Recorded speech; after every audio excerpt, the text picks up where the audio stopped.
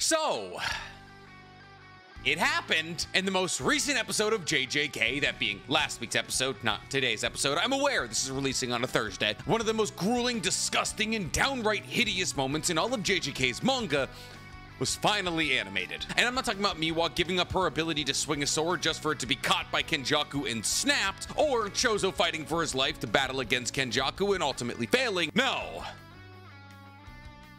We're talking about the Mei scene. The Mei scene that manga readers have known about for years. One of the most dreaded and least looked forward to anime adaptation scenes we've seen in years. And in fact, the dread for this scene was so incredibly existential and wide-reaching that almost every single manga reader who's picked up JJK hoped that Mappa would just skip it. Boy oh boy, did they not skip it. In fact, they, for some reason, made it the best animated part of the entire episode. Then again, we were fools to assume that there would be anything even remotely resembling moral upstanding coming from Mappa Studios. Regardless of what we as manga readers wanted, we got the scene, and the response to the scene has been a relatively mixed bag. See, there are those who are having the incredibly rational response of, Oh, why would they do that? while there are others who are dealing with it in a slightly different way. That is to say that there are others who have tried to rationalize this scene, which is a fairly standard thing to do when affronted with trauma that you're not entirely sure how to pave over. See, because when humans are faced with inconsolable trauma, they really tend to go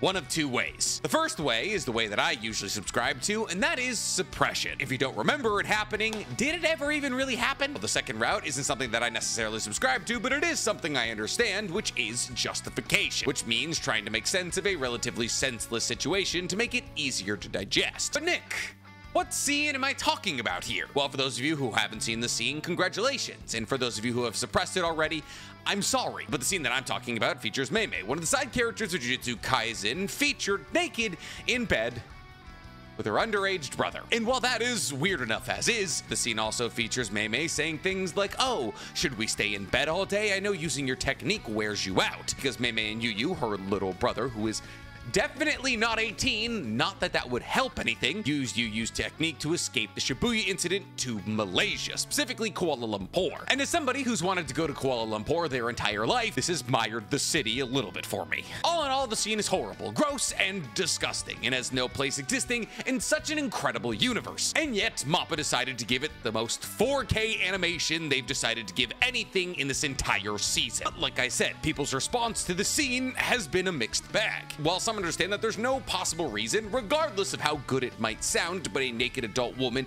in bed with her child brother, others have begun to argue that this scene is pivotal for the plot of Jujutsu Kaisen. And it's that that I want to talk about today. Because today we're talking is it time to stop watching Jujutsu Kaisen? Before we get to talking about anything, guys, please, for me, like this video, subscribe to the page, and hit that noti bell. And if you like the idea of me breaking down what happened in your favorite anime and manga, you're gonna love my anime podcast, Otakus Anonymous, where me and Danny Mata break down everything that happened in anime. This week, it's available on YouTube, Spotify, and Apple Podcasts. Or if you just want to look like somebody who keeps up to date with all things anime and manga, go ahead and meander into my merch store, otakusanonymous.net, where you can pick up some of the greatest anime t-shirts, sweatshirts, and sticker packs known to man. So everybody, I'd like to open today's class by asking one simple question.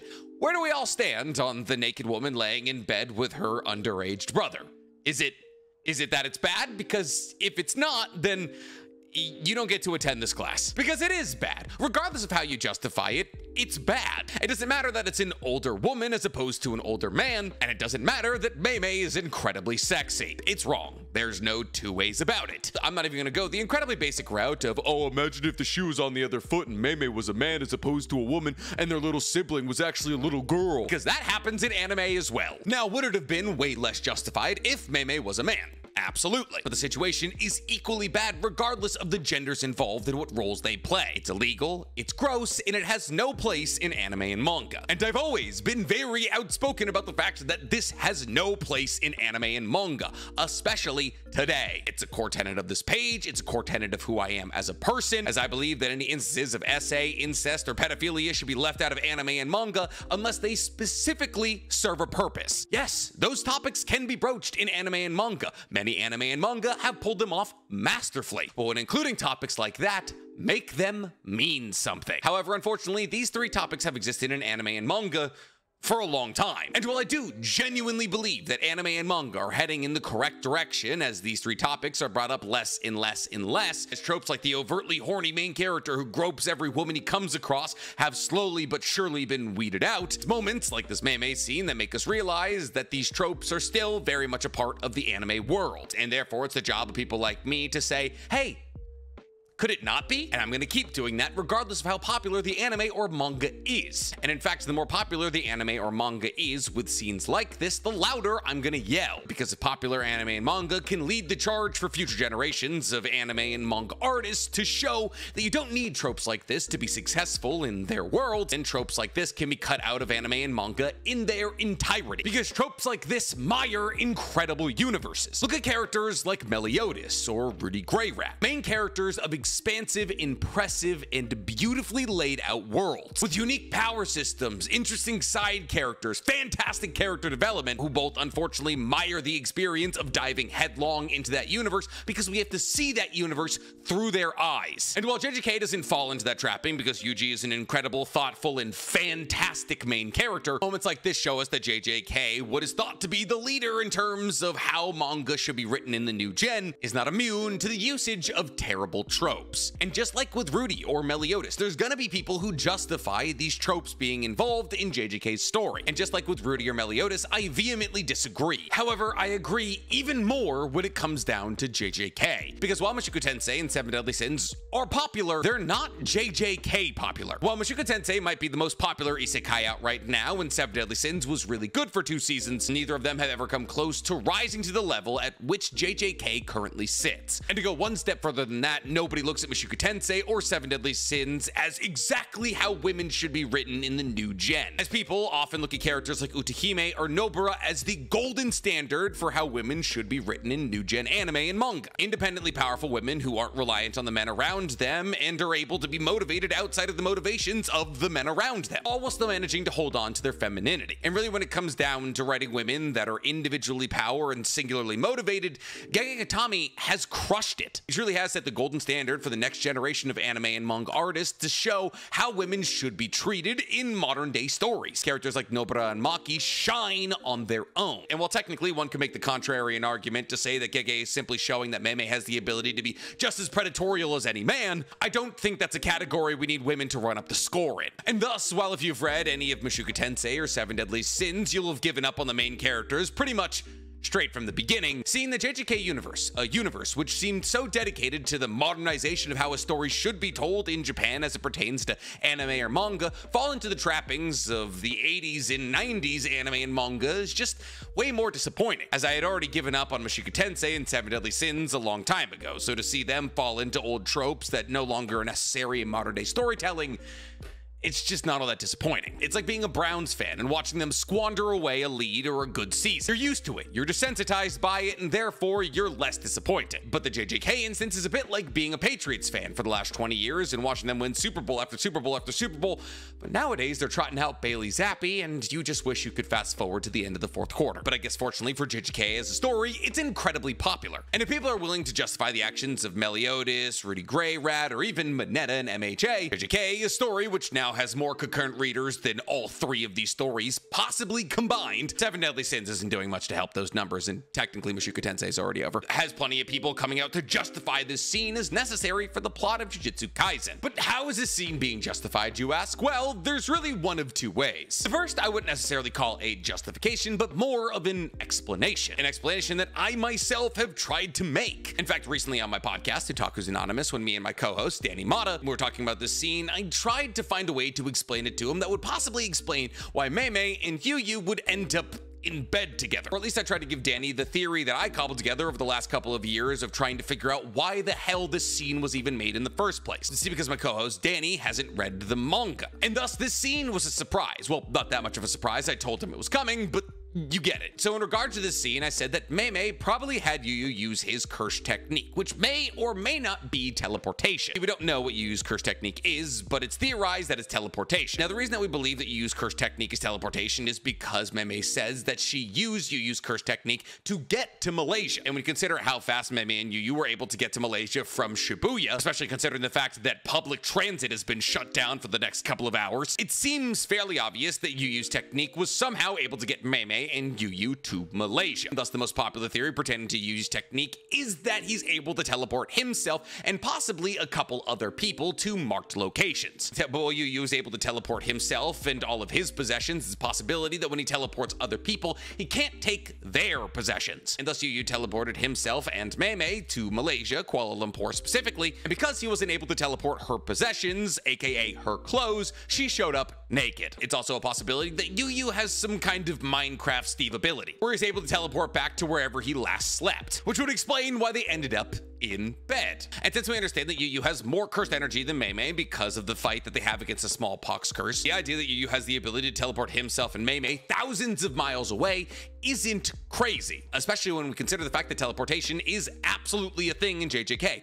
Gojo can do it, and Gojo can do it from incredibly far distances away and with incredible precision. And thus, there's a possibility that the real reason that we never see Yu Yu fight in the first place is because his only technique allows him to escape. And therefore, technically, if that's how Yu Yu's curse technique works, then boom, we figured it out. We can answer how Mei Mei and Yu Yu ended up in this situation. But here's the thing.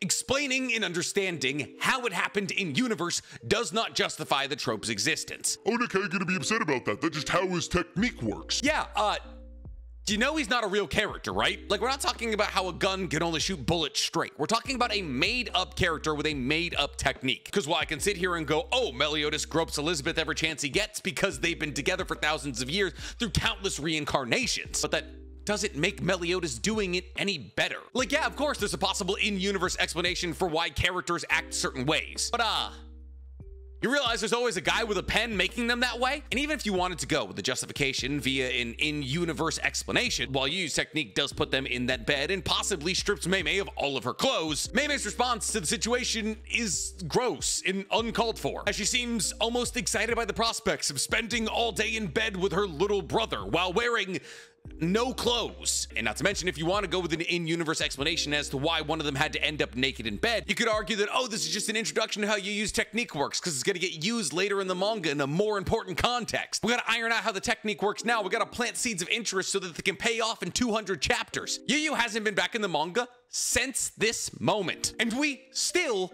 don't know his technique. Oh, and by the way, yes, I know it's Ui Ui. I just hate saying Ui Ui. Sounds like a French pig. Sorry, I was sweating. We don't know if he's allowed to teleport multiple people. We don't know if his teleportation is contingent on loving the person he's teleporting. And we definitely don't know if his teleportation technique requires clothes or not. What we do know for sure is that Gatami could have very easily made his teleportation technique have nothing to do with his adult sister being naked in bed with him. And we definitely know that we could have gone without his adult sister implying that they're gonna bang all day. See, because as it currently stands, while there might be theories as to why this moment happened, there's still no in-universe justification, and there technically can never be, unless part of his technique also somehow turns his sister into somebody who really wants to bang their underaged brother. But once again, uh, that's not a justification. Because why would his technique work like that? If we're being entirely real, there's no way this scene can be justified from an in-universe perspective. But what about an outside of universe explanation? A perspective that looks down at JJK from a bird's eye view.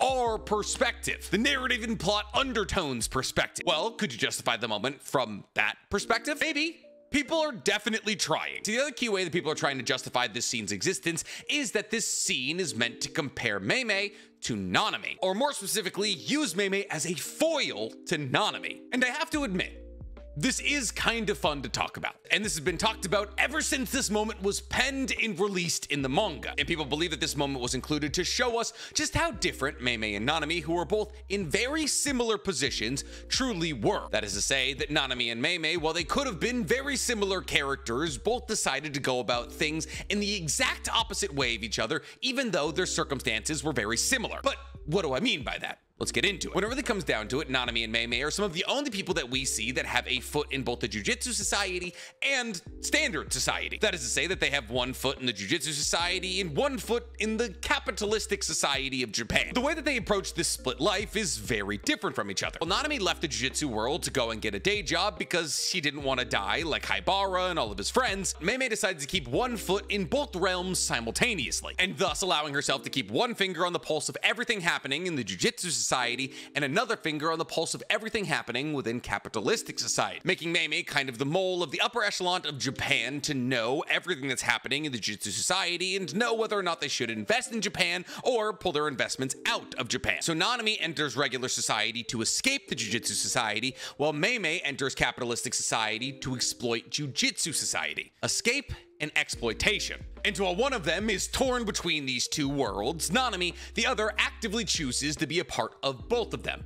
Mei. While Nanami uses the outside world as an escape from the horrors that laid in his past, Mei revels in those horrors as they're a way to increase her financial gains. On top of this, after Nanami spends a certain amount of time working at a day job, he realizes that his true calling in life is to be a jujutsu sorcerer, and thus he returns to the dangers of his previous life because he knows that's where his duties lay. And thus, that is to say that Nanami abandons normal society to go help in the jujutsu society. Mei does the exact opposite. See, during the Shibuya incident, Mei decides to run away to Kuala Lumpur. And the first thing that she's focused on after abandoning the Shibuya incident is covering her own capitalistic gains. And thus, in this moment, Mei Mei is abandoning the Jujutsu Society for normal society capitalism. But their allegiances and how they treat them aren't the only ways that these two are dissimilar. Nanami's curse technique, the 3 sevenths technique, requires that he be up close and personal against anybody he wants to fight. However, Mei Mei's crow curse technique allows her to hang back and use crows to observe people or even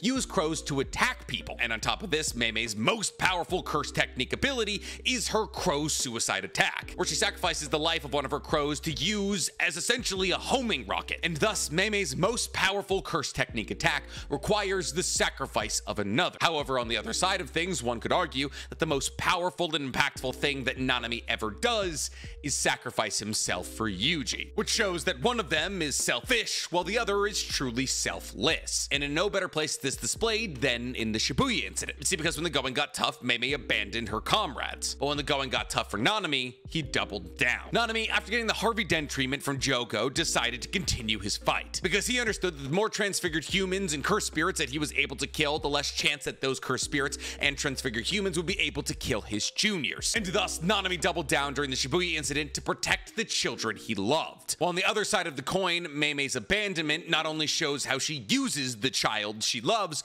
but also shows how she grooms him. And thus, people say that Mei Mei represents Jujutsu society, and how it takes children and grooms them into perfect little child soldiers who you're able to manipulate and exploit. And thus, the Jujutsu society society is greedy, self-centered, and exploitative, while Nanami, on the other hand, is supposed to represent what the Jujutsu society should be. Selfless, caring, and protective of those who are most vulnerable. And Nanami does live up to these three tenets more than possibly anybody else in the entire story, as Nanami, when he tries to run away from the issues of the Jujutsu society, sees that cursed spirits aren't going anywhere, and that by turning his tail and running from problems, he's only allowing cursed spirits to hurt more people, and thus his cowardice or indifference to the problems of the world around him is only causing more misery. And honestly, I love that. I love Nanami being the golden representation of what the Jujutsu Society should be, and Mei Mei being exactly what it is. Because thematically it makes sense, narratively it makes sense, and it makes even more sense when you consider the fact that Nanami's selflessness is actually what gets him killed, while Mei Mei's selfishness is what's kept her alive. And when you compare that to every other character arc throughout JJK, you'll see that the Jujutsu Society is run by the selfish because they're the only people who survive. So them as foil foiled characters meant to be physical representations of what their society could be and what their society is, is just